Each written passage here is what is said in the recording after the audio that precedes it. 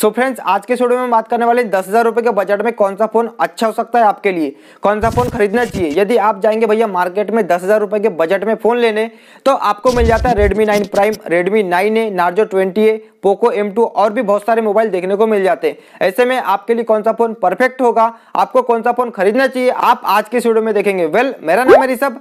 आप लोगों का आज के वीडियो में स्वागत है। अब यार यदि आप दस हज़ार रुपए के बजट में फ़ोन लेने जाएँगे मार्केट में तो आपको मिल जाता है साउमी की तरफ़ से Redmi nine A Redmi nine prime Samsung की तरफ़ से आपको मिल जाता है एम इलेवन और यदि बात करें रियलमी की तरफ़ से तो आपको मिल जाता है रियलमी की तरफ़ नार्जो ट्वेंटी अब यार इन सभी फोनों में आप यदि स्पेसिफिकेशन की बात करें तो आपको सभी फोनों में डिफरेंट डिफरेंट क्वालिटी देखने को मिलती है डिफरेंट डिफरेंट लुक देखने को मिलते हैं। अब यार ऐसे में आपको किस फ़ोन में अच्छा सा कैमरा मिल जाए अच्छा सा बैटरी बैकअप मिल जाए, अच्छी रैम मिल जाए अच्छा लुक मिल जाए मतलब ये कि यार आपको आपके बजट में एक अच्छा सा परफेक्ट फ़ोन मिल जाए जिसमें सब चीज़ सही सही हो।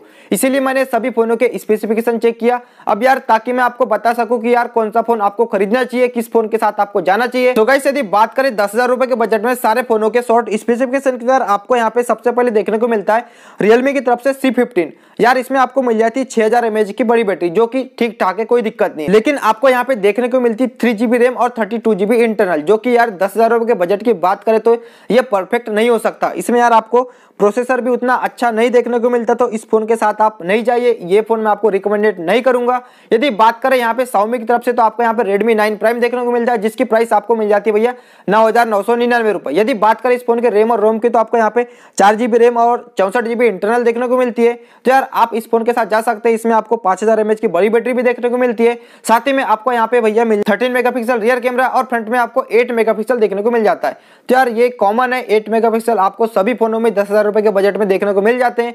तो यार ये आपके पास एक ऑप्शन हो सकता है, लेकिन आपको सौमी की तरफ़ से एक सेकंड ऑप्शन मिलता है, जो कि इससे अच्छा है पोको M2 जिसमें आपको मिल जाती है भैया छह जीबी रैम और चौसठ जीबी स्टोरेज बाकी आपको कैमरे भी सेम देखने को मिलते हैं, लेकिन आपको यहाँ पे पोको M2 में कैमरे जो रियर कैमरा है, आपको यहाँ पे चेंजेस देखने को मिल जाता है। आपको thirteen plus eight plus five plus two mega rear में और साथ ही में आपको एट मेगा फ्रंट में देखने को मिल जाता है। बाकी आपको दोनों फोनों में MediaTek Helio G processor देखने को मिल जाता है। तो यार यहाँ पे प्रोसेसर भी आपको सेम मिल जाते हैं। दोनों फोनों में रेडमी नाइन प्राइम हो गया या फिर हो गया Poco M2 लेकिन इन सारे ऑप्शनों से अच्छा एक ऑप्शन मिल जाता है आपको रियलमी की तरफ़ से नार्जो ट्वेंटी अब यार नार्जो ट्वेंटी आपके लिए परफेक्ट कैसे हो सकता है? नार्जो 20 के क्या क्या स्पेसिफिकेशन है? चलिए मैं आपको बताता हूँ। यदि बात करें इस फ़ोन के डिस्प्ले साइज़ की तो आपको इसमें 6.52 इंच का एच प्लस डिस्प्ले देखने को मिल जाता है। और यदि बात करें इस फ़ोन के कैमरा की तो आपको यहाँ पे 48 मेगापिक्सल एल ट्रिपल कैमरा देखने को मिल जाता है। यदि बात करें इस फ़ोन के कैमरा की डिटेल में तो आपको यहाँ पे 48 megapixel plus 8 megapixel plus 2 megapixel rear में, और यदि बात करें फ्रंट में तो आपको 8 मेगापिक्सल फ्रंट में देखने को मिल जाता है। इस फ़ोन में जो 48 मेगापिक्सल एल ट्रिपल कैमरा है यही क्वालिटी बाकी उन सभी फोनों से इस फ़ोन को डिफरेंट कर देती है। साथ ही में यदि बात करें इस फ़ोन के प्रोसेसर की तो आपको इसमें MediaTek Helio G processor देखने को मिल जाता है। बाकी आपको दस हज़ार रुपए के बजट में मीडियाटेक जी एटी प्रोसेसर शायद ही देखने को मिलेंगे। यदि बात करें रेडमी नाइन प्राइम की तो आपको उसमें जी मिल जाता है। पोको M2 की बात करें तो उसमें भी आपको G80 मिल जाता है। बाकी फोनों में तो यार G35 मिलता है। G30 मिलता है तो यार उन फोनों की तो हम बात ही नहीं करते। हम बात करें नार्जो 20 की। तो यार बात करें यहाँ पे बैटरी बैकअप की तो आपको इसमें 6000 हज़ार की एक बड़ी बैटरी देखने को मिल जाती है। साथ ही में आपको यहाँ पे 18 वाट फास्ट चार्जिंग सपोर्ट भी देखने को मिल जाता है। अब यदि बात करें इस फ़ोन के रेम और रोम की तो यार आपको यहाँ पे देखने को मिल जाएगी चार रैम और चौसठ स्टोरेज और साथ ही में आपको इस फ़ोन में मिल जाता है फिंगरप्रिंट अनलॉक का ऑप्शन और यदि बात करें इस फ़ोन के डिज़ाइन की तो यार आपको यहाँ पे विक्ट्री डिज़ाइन मतलब कि वी सेप डिज़ाइन पैटर्न देखने को मिल जाता है डिस्प्ले में। सो गाइस ये था नार्जो ट्वेंटी लेकिन यार इस फ़ोन के आपको देने होते हैं दस हज़ार चार सौ निन्यानवे रुपए।